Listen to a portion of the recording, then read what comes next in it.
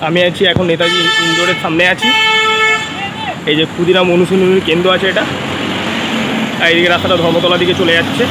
আর এইদিকে হাইকোর্টের দিকে চলে যাচ্ছে। আর এই ভেতরটা আমি যাচ্ছি ইডেন উদ্যানের ওখানে। কেন ওখানটায় গাছ দিচ্ছে। চলো তাহলে ওখানটায় গিয়ে দেখা যাক কীরকম কী গাছ দিচ্ছে। আর অনেকের মুখে শুনছি ফ্রিতে গাছ দিচ্ছে, পাঁচ, পাঁচটা করে।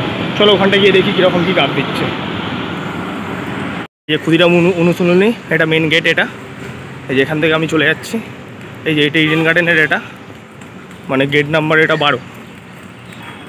আর ঠিক আমার ডান দিকে পড়বে হচ্ছে নেতাজি ইন্ডোর স্টেডিয়াম এই যে এটা। ডান দিকে পড়বে আমার।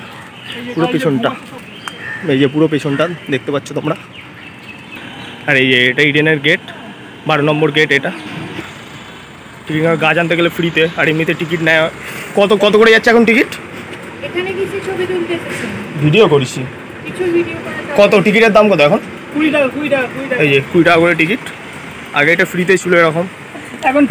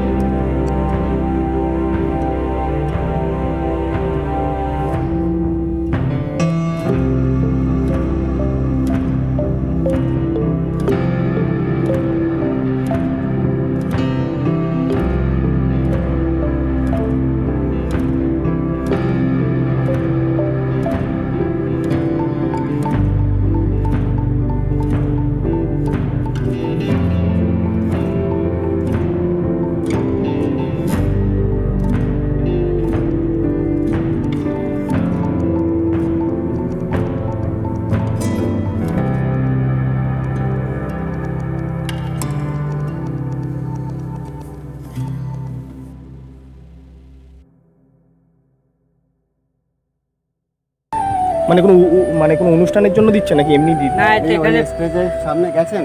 স্টেজের সামনে না যায়নি এটা চোদ্দই জুলাই থেকে হ্যাঁ। অরণ্য সপ্তাহ চালু হয়। আচ্ছা যেটা আচ্ছা। বন মহোৎসব। হ্যাঁ হ্যাঁ হ্যাঁ। এই কুড়ি তারিখ পর্যন্ত চলে। আচ্ছা। এখন গাছের সংখ্যা ক্রমশ দিনে দিনে কমে যাচ্ছে। আচ্ছা হ্যাঁ। এই জন্য বিনামূল্যে সরকার থেকে মানে পাঁচ দিন। পাঁচ দিন গাছ দেবে। আর এই গাছগুলো ছাড়া অন্য কোনো গাছ আর দেবে না। আপনি যা আছে সেগুলো মানে এমনিতেই মানে মানে গাছ এইগুলো ছাড়া তারপরে কিনতে হবে। বাদ বাকি জানেবো তাই তো? হ্যাঁ, পাঁচটা একজনের পাঁচটা। আচ্ছা ওর বেশি হলে কিনতে হবে? হ্যাঁ। আচ্ছা। তো দেখলে যে কোনো পাঁচটা গাছ ফ্রিতে নিতে হবে তারপরে ওর বাইরে নিতে গেলে মানে যদি আমি আরও বেশি গাছ নিতে চাই